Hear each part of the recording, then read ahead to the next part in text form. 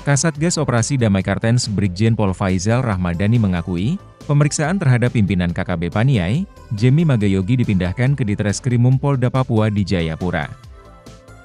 Memang benar proses pemeriksaan terhadap Jemi Magayogi, yang juga menjabat sebagai Kepala Staf Angkatan Darat West Papua Army Divisi 2 Pemka 4 Paniai, dipindahkan ke Jayapura, Jakarta Brigjen Faizal.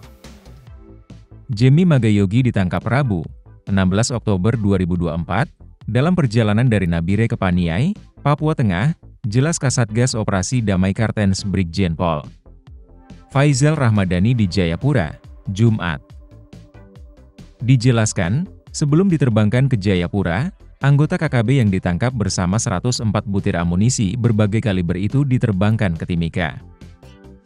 Anggota Satgas Ops Damai Kartens mengawal ketat selama proses pemindahannya, Jikata Faizal.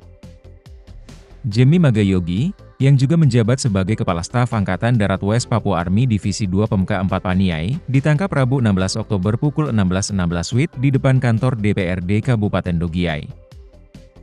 104 butir amunisi yang diamankan itu terdiri dari 56 butir kaliber 5,56 mm dan 48 butir kaliber 7,62 mm. Anggota KKB Jemi Magayogi terlibat kasus pencurian senjata api tahun 2015 dan terlibat dalam kontak tembak dengan TNI di distrik Bibida, Kabupaten Paniai, bulan Mei lalu.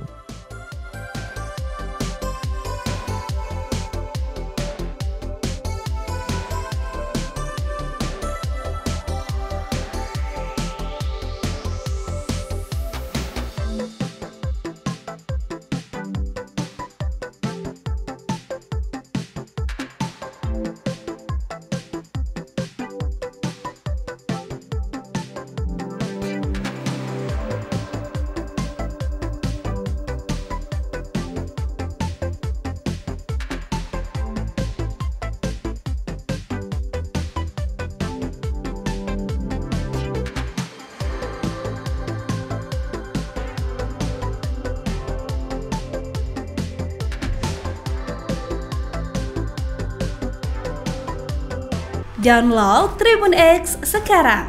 Menghadirkan lokal menjadi Indonesia.